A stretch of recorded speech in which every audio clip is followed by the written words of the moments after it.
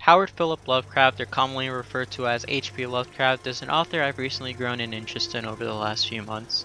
This attraction of his works of horror have influenced me in numerous ways. I've purchased a book containing many of his writings, all the way to the creation of my Dungeons & Dragons campaign based around the Lovecraftian theme of the fear of the unknown and incomprehensible.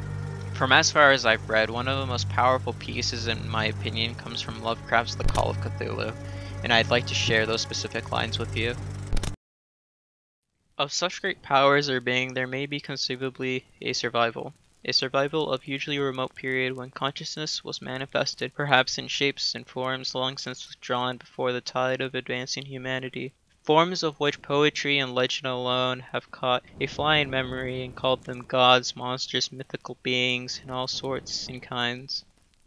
The most merciful thing in the world, I think, is the inability of the human mind to correlate all its contents. We live on a placid island of ignorance in the midst of black seas of infinity, and it was not meant that we should voyage far. The sciences, each straining in its own direction, have hitherto harmed us little, but some day the piecing together of disassociated knowledge will open up such terrifying vistas of reality and of our own frightful positions therein that we shall either go mad from the revelation or flee from the deadly light into the peace and safety of a new dark age.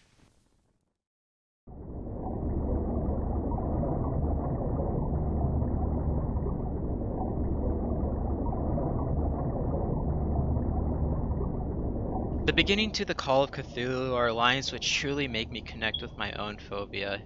It's quite interesting how this phobia is manifested. I personally love the ocean. There's something that the ocean has that I still view positively.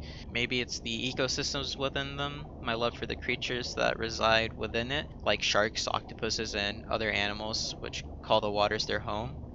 My fear is not those beings. It's not the creatures that lie there. It's not the coral. It's not the seaweed. It's the fear of when you go deeper. So when you begin to go past the rays of sunshine and when there's just blue that begins to swarm around you in an almost endless environment. It's the darkness and hollowness of the sea and the void when you look down. This is a game called Depth.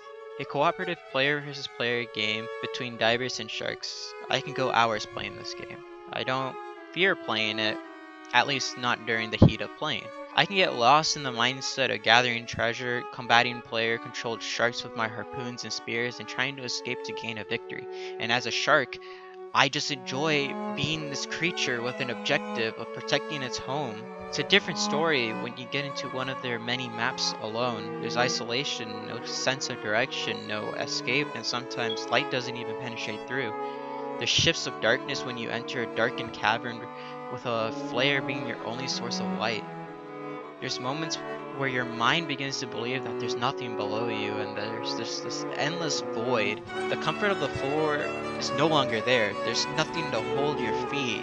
There was nothing to distract me from my phobia. It was all there before me in the form of a video game. Even recording the footage of this project, I still had this fear. I knew deep down that there was nothing that could hurt me. There was no enemy sharks to come and grab me and thrash me around. There was nothing environmentally to harm me. At least, that's what I believed. During the process of gathering the footage, I discovered something terrifying.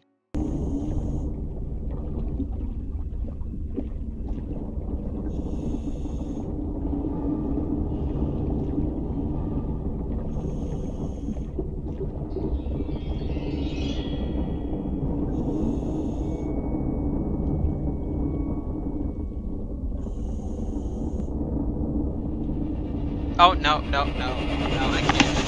It's truly magnificent seeing the worlds that digital confectioners created, the environment, the ambience, every little aspect of each map, and the design of the movement, the breathing of the character, it's almost sickening to me.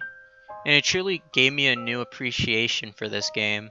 I fear the bodies due to the vacant abyss it can present. But on the other hand, I'm in love with space. I get lost in the thought of the cosmos. When making this video, someone specifically told me when I pitched the idea and they asked me, would you travel in a rocket ship out to space with no idea what lies ahead of you, or do the same but in a submarine down to the ocean? And without a second thought, I chose space. It is definitely the fear of the unknown which controls this phobia of mine. It's quite interesting, and I've also made the connection that it might just be human nature. We don't think about going down, we always think about going up. It's always our goal to keep going and reach toward the stars. We've made it past the atmosphere if we've made it onto the moon, and there's more for us to explore with our current goals of reaching Mars and colonizing it. And I think it all circles back to that idea of Lovecraft's The Call of Cthulhu.